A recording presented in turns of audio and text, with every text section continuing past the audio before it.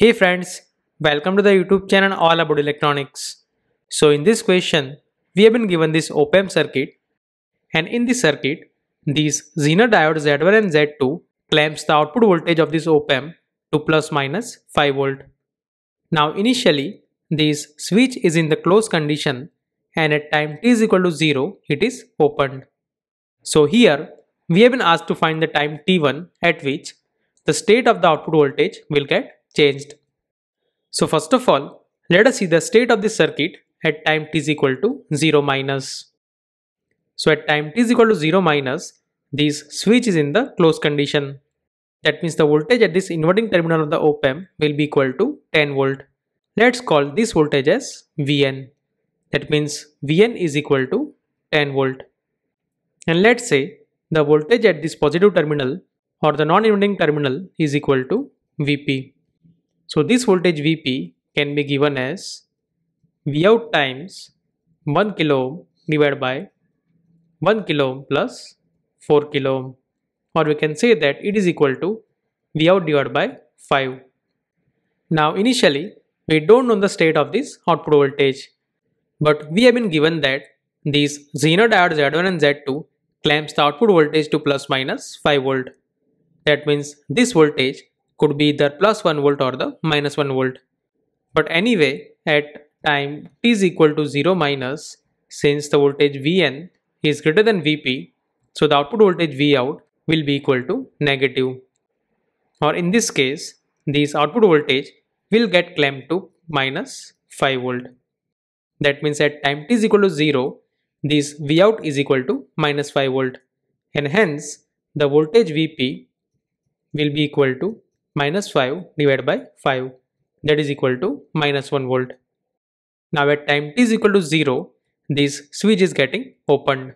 So now this capacitor starts charging and because of that the voltage at this node will start changing and at one point when the voltage at this node is less than minus 1 volt then there will be a transition in the output.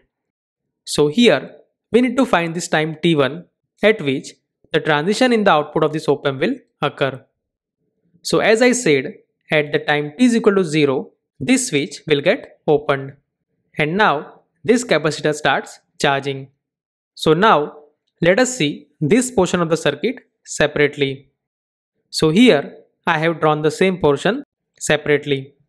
So here the voltage between these two nodes is actually Vn that is this voltage.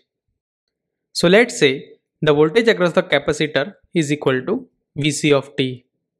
That means this voltage Vn is equal to 10 volt minus Vc of t. So first of all let us find this voltage Vc of t and based on that we will find this voltage Vn and using that we will find the time t1. So initially this capacitor is uncharged. That means this Vc of 0 minus will be equal to 0. And as you know, the capacitor opposes the instantaneous change in the voltage. That means the Vc 0 plus will also be equal to 0 volt. Now at time t is equal to infinity, this capacitor will act as a open circuit. And in this condition, the voltage across the capacitor that is Vc of infinity will be equal to 10 volt minus minus 10 volt that is equal to 20 volt. That means Vc of infinity is equal to 20 volt while the initial voltage across the capacitor is equal to 0. So we can say that this voltage Vc of t is equal to Vc of infinity plus Vc of 0 minus Vc of infinity times e to the power minus t divided by RC where this R is equal to 10 kilo ohm and this C is equal to 100 microfarad. That means this RC is equal to 1 second. So if we put the value of this Vc of infinity and the Vc of 0 then we can say that this Vc of t is equal to 20 volt plus 0 minus 20 times e to the power minus t. That means Vc of t is equal to 20 minus 20 times e to the power minus t. That means the voltage at this node or Vn of t is equal to 10 volt minus Vc of t that is equal to 10 minus minus 20 plus 20 times e to the power minus t that is equal to minus 10 plus 20 times e to the power minus t. So this will be the expression of the voltage Vnt. So at time t is equal to 0, this voltage Vn is equal to 10 volt. And at time t is equal to infinity, it will become minus 10 volt. That means the voltage at this node is going from 10 volt to minus 10 volt. And at some point t is equal to t1, it will cross the minus 1 volt. And wherever it happens, then the output of this op-amp will get changed. So to find this time t1, let us put the value of this Vnt is equal to minus 1 volt. And let's say it happens at time t is equal to t1.